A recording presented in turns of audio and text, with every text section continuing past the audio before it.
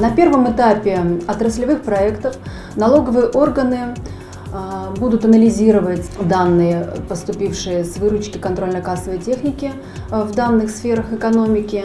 а, а, также проводить большую аналитическую работу э, среди налогоплательщиков, которые на сегодняшний день еще не зарегистрировали контрольно-кассовую технику в установленном порядке.